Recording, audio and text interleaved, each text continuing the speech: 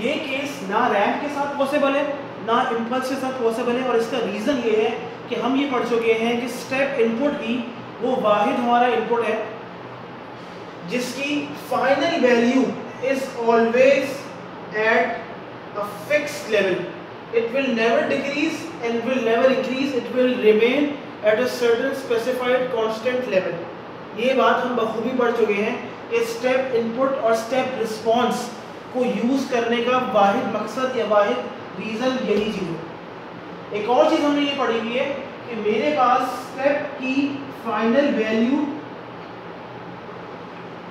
जो भी हो, वैसे तो इसकी वैल्यू क्या होती है? वन होती है। बट हमें ये पता है कि इसके साथ कोई भी वेरिएबल मल्टीप्लाई कर देंगे तो वो किसके बराबर हो जाएगा? एक्स के।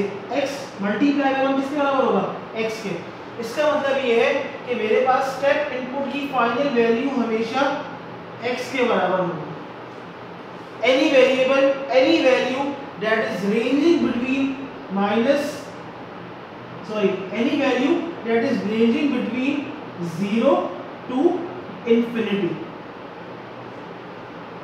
समझ आ रही बात? ज़ीरो भी नहीं हो सकती ज़ीरो से हमेशा बड़ी होगी और इंफिनिटी की इक्वलेंट या रेस्ट होगी इसको हम इस तरीके से अगर शो करें तो कह सकते हैं कि फाइनल वैल्यू की जो रेंज है, वो ज़ीरो से तो बड़ी है but less than equal to infinity आई बात समझ तो ये मेरे पास, ये सारे वही कॉन्सेप्ट हैं जो हम लोग पहले पढ़ भी चुके हैं अपने पास। ठीक है? तो यहाँ तक अभी इसको हम ये करते हैं, अब नेक्स्ट पार्ट में आपको समझाऊँगा। बल्कि इसी पार्ट में हम कंटिन्यू करते हैं। तो ये चीज़ हमने देख ली कि मेरे ट्रांसफ़र फ़ंक्शन क्या होता है?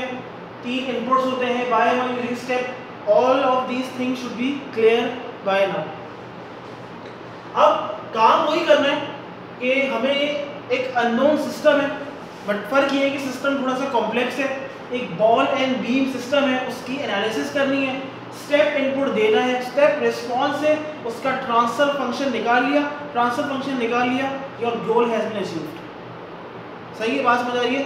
बट होता थोड़ा सा ये है कि मेरे पास सारे के सारे सिस्टम्स दुनिया में इतने सिंप्लीफाइड और इजी नहीं होते। कॉम्प्लेक्स सिस्टम जो होते हैं कॉम्प्लेक्स सिस्टम्स होते हैं हायर ऑर्डर सिस्टम्स क्या होते हैं? Higher order systems